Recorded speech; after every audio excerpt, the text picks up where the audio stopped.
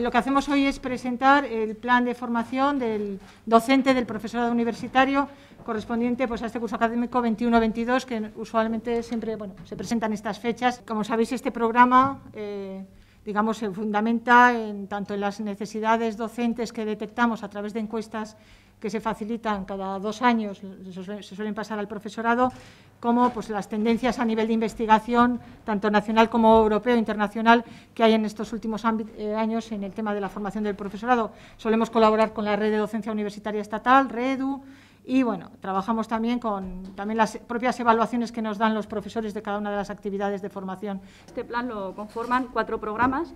Eh, del primero al que me voy a referir es el programa de formación inicial del profesorado universitario dirigido al profesorado Nobel de la universidad.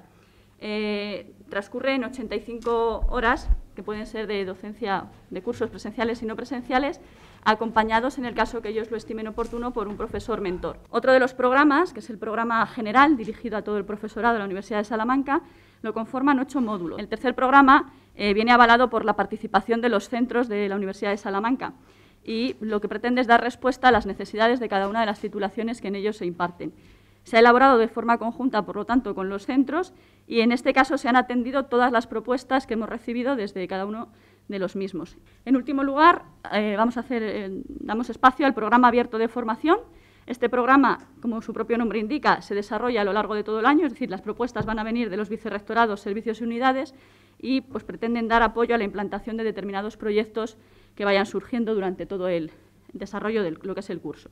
En, poco más de hora y media, dos horas que lleva abierta la plataforma, ya hemos recibido 400 inscripciones, 280 al general y 110 al, al de centros. Eh, todos estos cursos pues, se, han, se han consolidado en base a actividades valoradas y con alta demanda en años, en años previos, que estamos repitiendo, y además este año hemos intentado pues, introducir al menos una novedad en cada uno de los módulos. Hay actividades tanto en formato virtual como presencial.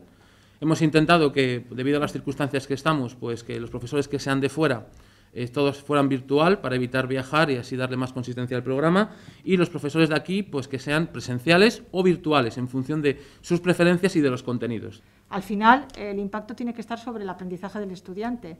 Entonces, eh, creemos que una herramienta es el plan de formación del profesorado como docente